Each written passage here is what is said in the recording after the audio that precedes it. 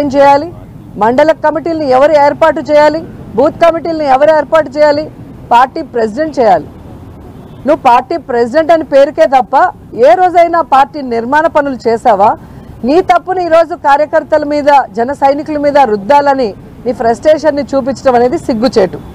ఈరోజు ముష్టి ముప్పై సీట్లు కూడా తెచ్చుకోలేని నువ్వు నిన్న జగనన్ననే అతక్ పాతాలానికి తొక్కుతానంటున్నావు. నువ్వు చంద్రబాబు నాయుడు దగ్గర ఊడిగం చేస్తూ ఈరోజు అధహ్ వెళ్ళావు అనేది నిన్న మీటింగ్తో స్పష్టంగా అర్థమైపోయింది.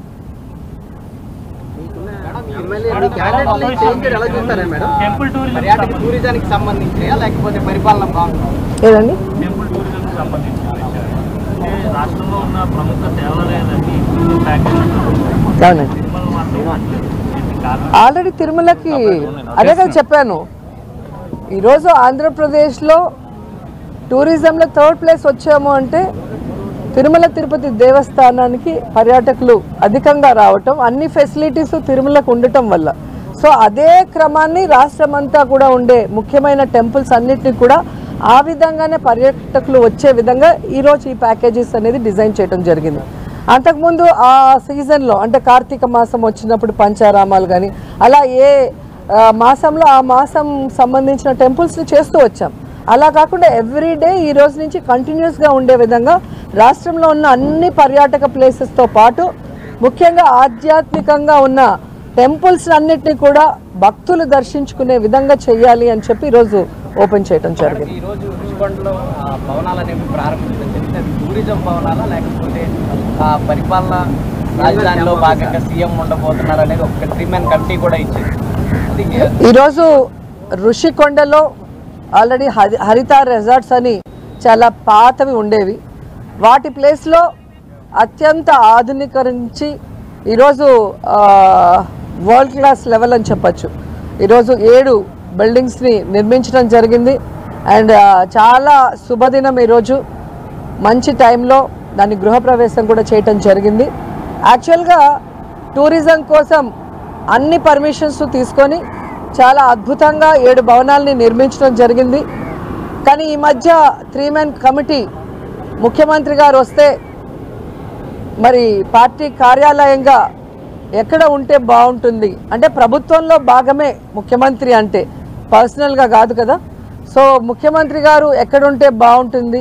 ఎక్కడి నుంచి పరిపాలిస్తే బాగుంటుంది? అన్న క్రమంలో త్రీ మెన్ కమిటీ వైజాగ్లో ఉన్న అన్ని ప్రదేశాలను కూడా సందర్శించారు. దాంట్లో ఇక్కడ ఉంటే బాగుంటుంది అని రిషికొండని ఫైనలైజ్ చేయడం జరిగింది.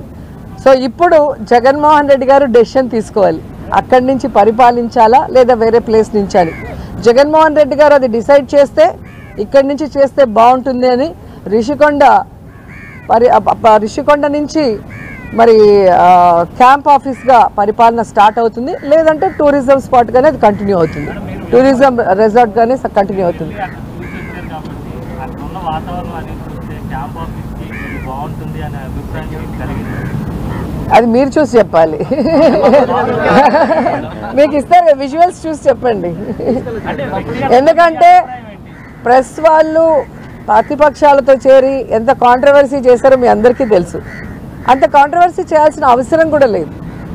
సో అందుకే మీకు విజువల్స్ వస్తాయి మీరు చూడండి చూసి మీరు డిసైడ్ అవ్వండి.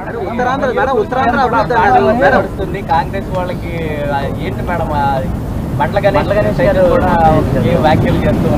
ఎవరతను?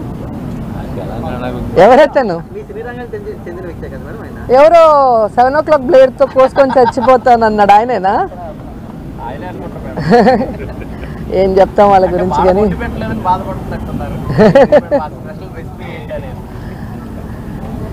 ఈరోజు ఒక మహిళ సక్సెస్ఫుల్గా ఉంటే కష్టపడి పైకి వస్తే స్ట్రాంగ్గా ప్రతిపక్షాలు చేసే తప్పుల్ని ఎత్తి చూపిస్తే ఇలా నీచంగా మాట్లాడటం వల్గర్గా మాట్లాడటం తెలుగుదేశానికి జనసేనకి వెన్నతో పెట్టిన విద్య.